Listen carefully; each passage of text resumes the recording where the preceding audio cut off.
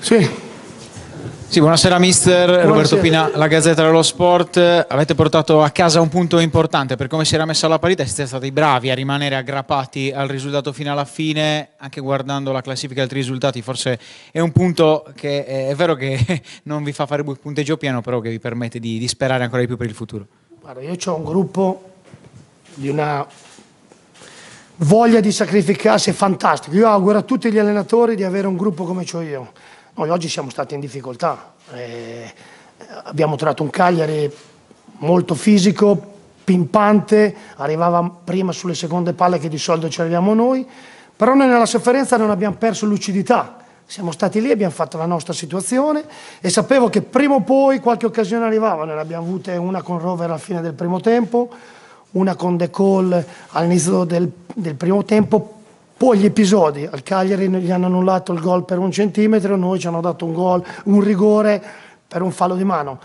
Però è una squadra che non ha perso eh, la bara onda, è stata lì contro un Cagliari, ho detto, importante. Quindi, eh, però questo è un punto importante, fa capire che quando saremo nei playoff, non so che- con che posizione, dovremo giocare di queste partite.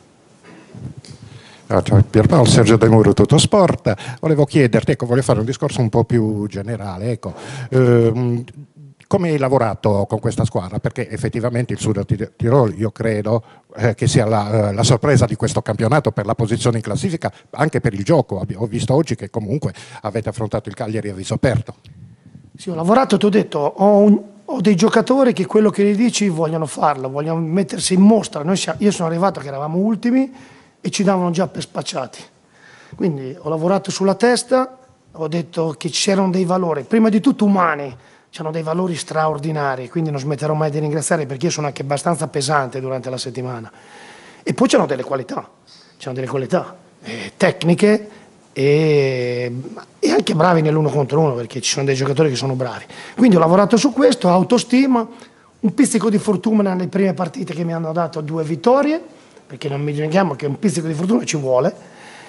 Poi abbiamo costruito la nostra identità, non, non dimentichiamoci che questa squadra qui ha fatto 12 risultati all'andata, 12 al ritorno, quindi non è un caso che, che facciamo due risultati. È vero che siccome l'allenatore non è uno molto sponsorizzato, non è bello da vedere, urla, sbraita, fa casino, però ai miei ragazzi va dato merito che in Serie B 12 risultati consecutivi, 12 risultati consecutivi in giro di ritorno fanno poche squadre e, e la mia squadra l'ha fatta. Quindi bravi. Buonasera, Buonasera. Lele Casini Radiolina, salve. Volevo sapere, la mossa all'intervallo di inserire Mazzocchi, stavate soffrendo tra le linee a centrocampo, quindi hai inserito un altro che potesse anche aiutare. Di Casiraghi, non Eh, di Casi- Mazzotto. Sì. Eh, scusi Mazzocchi, volevo dire Schiavone, volevo dire Schiavone e, e- e Casiraghi a centrocampo per dare un po' più di peso e aiutare Fiordilino. E poi, e poi volevo sapere se ritiene che l'1-1 sia il giusto risultato dopo la partita vista oggi. Grazie. Allora, eh, sono sincero, dopo quando hanno annullato il gol volevo farlo subito il 3-4-1-2, volevo dare un aiuto ai miei giocatori. Poi ho detto no, aspettiamo l'intervallo e invece abbiamo preso gol. Nell'intervallo ho dovuto cercare di cambiare la situazione e quando abbiamo messo questa situazione ho visto che la squadra si è assestata bene. Poi hanno avuto due ripartenze su nostri errori di impostazione. E quindi noi durante la settimana proviamo vari sistemi di gioco. Poi alla notte li tiro fuori uno che molte volte sbaglio come ho sbagliato il primo tempo, eh, per l'amor del cielo. L'1-1, a livello di mole di gioco il Cagliari ha avuto un grande possesso di palla, ha avuto l'occasione di fare il 2-0. In Serie B se non fai il 2-0, non è come la Serie A, se non fai il 2-0, prima o poi una, una palla la concedi, vuoi per la bravura dell'avversario del Sud Tirolo oppure di un'altra squadra, vuoi perché prima o poi la devi concedere. E quindi a livello di gioco meritava forse il Cagliari. Come ho visto la squadra, credo che il risultato di 1-1, a me mi hanno pareggiato due volte al novantesimo, ci può stare, però credo che il Cagliari se gioca così sarà un avversario veramente tosto ai playoff, perché oggi ha giocato un- un'ottima partita, cioè non ci ha fatto mai ripartire, che è la nostra un po' caratteristica, ci ha aggredito sul piano fisico e noi lì siamo stati un po' deficitari. Mario Frongia Repubblica, Pierpaolo hai detto in settimana sono pesante, anche la domenica appena hai pareggiato ne hai spalmato per terra due, eri durissimo, ma questa carica paga sempre, cioè questa motivazione continua ti sta dando questi risultati, è dietro i 12 risultati utili di fila. Sì, io finché avrò questa voglia qui allenerò, quando non ho voglia, ormai sono già in pensione, mi ritiro e quindi vado in pensione. Credo che questa carica nel calcio attuale sia importante. Poi bisogna vedere i giocatori come la ricevono, se la ricevono con, con spirito di aiuto va bene, se la ricevi con altro spirito vai a contrasto e succede che ti mandano a casa. Ogni pure riferimento casuale. E, e, quindi credo che eh, nel calcio attuale sia importante, oltre che i moduli, questo l'ho, l'ho anche appreso ascoltando le, le, parole di un maestro che si era seduto prima di me, io ho detto che Ranieri non c'entra niente con la nostra categoria, te l'ho detto anche a te, credo che se non fai un, un'empatia con i giocatori puoi giocare tutti i moduli che vuoi ma non vinci, l'empatia è la cosa più importante, io credo che abbiamo creato veramente, noi fino a 5 minuti prima di giocare in campo scherziamo, eh, ci tiriamo l'acqua addosso, dico delle... poi quando entriamo accendiamo, poi possiamo anche perdere, ancora non l'abbiamo fatto, eh? però credo che sia importante. Sì, Enrico Gaviano, Nuova Sardegna, ciao Pierpaolo. Ciao. Allora, io mh, così sono curioso di sapere, torni a Cagliari da magari lo stadio non è lo stesso, però il pubblico è quello. Che emozioni, che emozioni si provano anche pensando a quell'esperienza che ho avuto anche da allenatore dopo le 164 partite da giocatore? Se ripenso a quella cosa da allenatore mi viene il magone, quindi eh, devo cancellarla, perché era un cerchio, ci sarebbe chiusa una favola, perché io credo ancora nelle favole, credo ancora nei sentimenti. Io quando sono entrato in campo e mi hanno applaudito alla curva sud, per me è stato un'emozione forte, sono ritornato indietro quando avevo 26 anni, ora ne ho 57, pensiamo te se sono tornato indietro. Poi però dopo sono un avversario, quindi sono brutto da vedere, sono scomodo, non, non risulta eh, simpatico e quindi molto probabilmente molti non capiscono il mio atteggiamento ma se fossi dalla panchina di là lo farei anche per il Cagliari contro, faccio un esempio, contro un'altra squadra che avrei allenato. È il mio modo di fare e non è una mancanza di rispetto, è proprio il rispetto che porto quando mi vengono, vengo chiamato per allenare. Se non riesco a dare tutto, preferisco farmi da parte e fare allenare. Io sono fatto così, ero da giocatore e da allenatore. I risultati che ho ottenuto ho avuto la fortuna di vincere cinque campionati, di fare due salvezze incredibili, adesso siamo qui a scrivere quasi una favola importante, li ho ottenuti con questo, con passione, con voglia. Oggi mi hanno chiesto un giorno in più, gliel'ho dato perché se lo meritano.